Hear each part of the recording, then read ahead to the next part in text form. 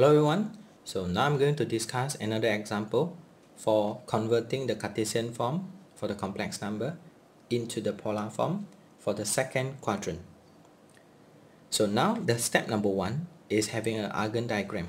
So step number one, we will have an Argand diagram. So where is the location of the Z?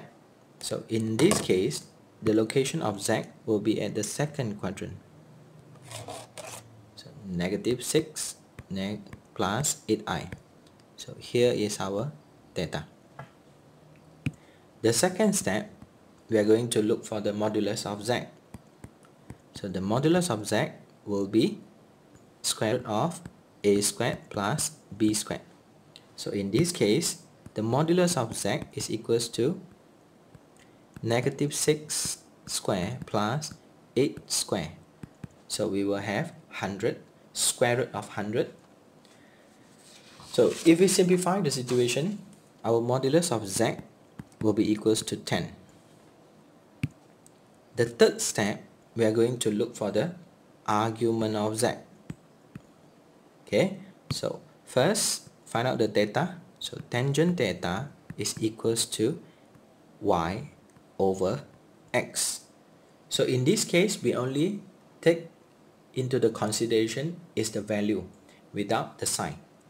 So theta will be equals to 53.13 as a basic angle. So in the form of radian, the value will be 0.9273 radian.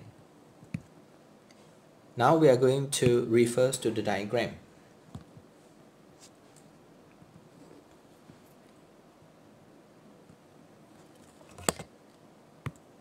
And we will have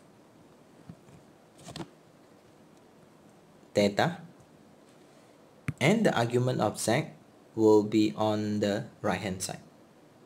So in this case, the argument of z will be equals to pi minus the theta. Okay, pi minus the theta. So theta will be 0 0.9273.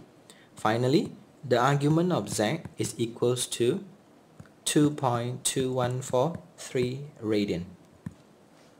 Step number 4, polar form.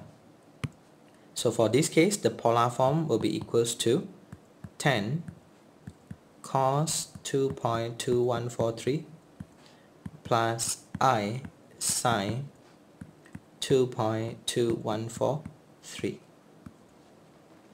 So here we are and thanks for watching.